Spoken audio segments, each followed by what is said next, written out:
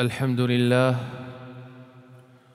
الحمد لله الذي أكرمنا بالإيمان وأنعم علينا بالأمان والاطمئنان وأشهد أن لا إله إلا الله وحده لا شريك له وأشهد أن سيدنا ونبينا محمدا عبد الله ورسوله. فاللهم صل وسلم وبارك عليه. وعلى آله وصحبه والتابعين. أما بعد فأوصيكم عباد الله ونفسي بتقوى الله جل وعلا. يا أيها الذين آمنوا اتقوا الله وكونوا مع الصادقين. أيها المؤمنون إن حب الوطن فطرة فطر الله عز وجل عليها عباده وسنة غرسها سبحانه في خلقه فالوطن هو المكان الذي يولد فيه الإنسان وينشأ على ترابه وينعم بخيراته ويعيش فيه أجمل ذكرياته. ولقد قدم لنا سيدنا ونبينا محمد صلى الله عليه وسلم انموذجا راقيا في حبه لوطنه. فكان صلى الله عليه وسلم إذا قدم من سفر فأبصر المدينة. أسرع إليها أسرع إليها من شدة تعلقه بها وحنينه لها.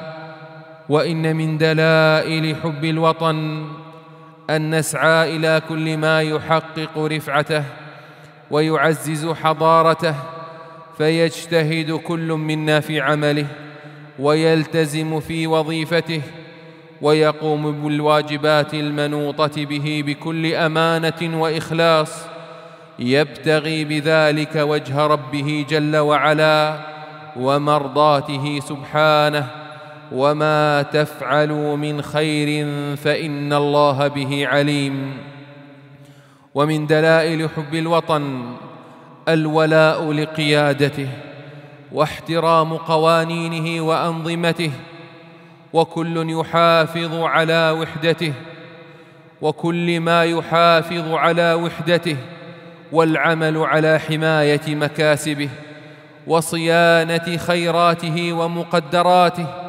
والتمسك بتقاليده وعاداته التي عاش عليها الأجداد وحافظ عليها الآباء.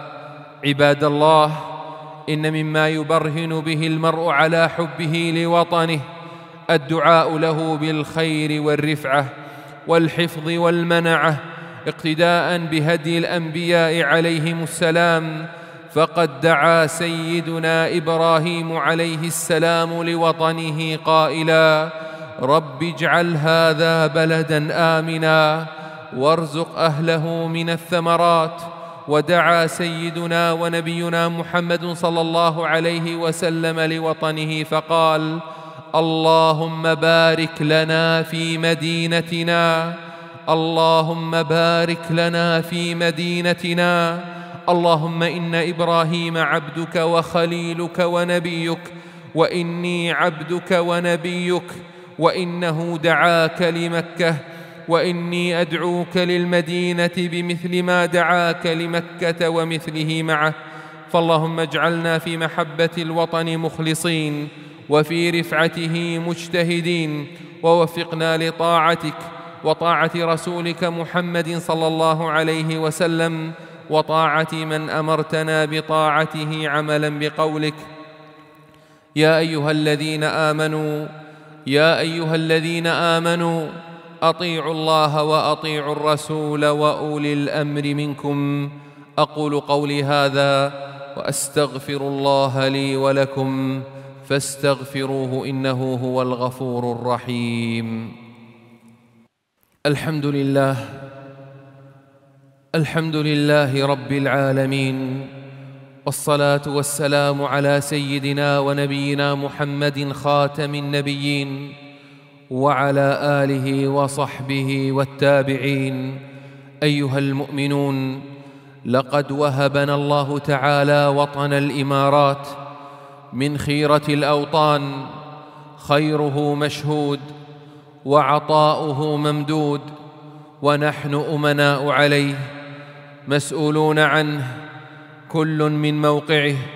فقد قال رسول الله صلى الله عليه وسلم إن الله سائل كل راع عما استرعاه. أحفظ أم ضيع؟ إن الله سائل كل راع عما استرعاه.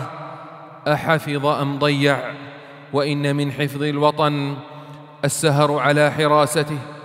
وبذل كل غال ونفيس من أجل حمايته فحراسة الأوطان قربة إلى الرحمن قربة وأي قربة إلى جنة الرضوان. فقد قال صلى الله عليه وسلم عينان لا تمسهما النار عين بكت من خشية الله وعين باتت تحرس في سبيل الله. وقد قال والدنا الشيخ زايد طيب الله ثراه إن الوطن ينتظر منا الكثير فعلينا أن نكافح ونحرص على دفع مسيرة العمل في هذا الوطن والدفاع عنه بنفس الروح والشجاعة التي تحلى بها أسلافنا.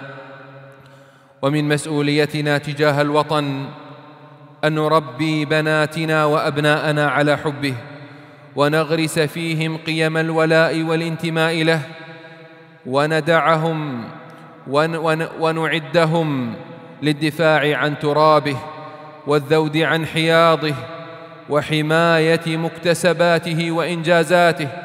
وقد فتحت القيادة الرشيدة للشباب ذكورا واناثا باب الشرف والرفعة والسمو والكرامة بالتحاقهم بالخدمه الوطنيه فهي مدرسه عظيمه تعزز فيهم الانضباط وعلو الهمه والصبر والقوه لتبقى دوله الامارات العربيه المتحده عزيزه قويه شامخه ابيه متلاحمه متماسكه. هذا وصل اللهم وسلم على سيدنا ونبينا محمد وعلى آله وصحبه أجمعين. وارض اللهم عن الخلفاء الراشدين أبي بكر وعمر وعثمان وعلي وعن سائر الصحابة الأكرمين. اللهم وفق رئيس دولتنا الشيخ محمد بن زايد لما تحبه وترضاه. اللهم وفق نوابه وإخوانه حكام الإمارات وولي عهده الأمين. اللهم أدم على دولة الإمارات الاستقرار والرقي والازدهار. اللهم ارحم الشيخ زايد والشيخ راشد والقادة المؤسسين والشيخ مكتوم والشيخ خليفة بن زايد. اللهم أدخلهم بفضلك فسيح جناتك واشمل اللهم شهداء الوطن برحمتك وغفرانك يا أرحم الراحمين. اللهم اغفر لآبائنا وأمهاتنا وجميع أرحامنا. ومن له حق علينا. اللهم ارحم المسلمين والمسلمات المؤمنين والمؤمنات الأحياء منهم والأموات. اللهم اسقنا الغيث اللهم اسقنا الغيث اللهم اسقنا الغيث ولا تجعلنا من القانطين. اللهم أغثنا اللهم أغثنا اللهم أغثنا. غيثا تحيي به البلاد وتسقي به العباد. اللهم غيث الأمطار في أوطاننا وغيث الإيمان في قلوبنا. اللهم إنك تقول للمزن كن فيكون فتسقي به العباد. يا رب العالمين ويا أرحم الراحمين. عباد الله اذكروا الله العظيم يذكركم واشكروه على نعمه يزدكم. وآخر دعوانا أن الحمد لله رب العالمين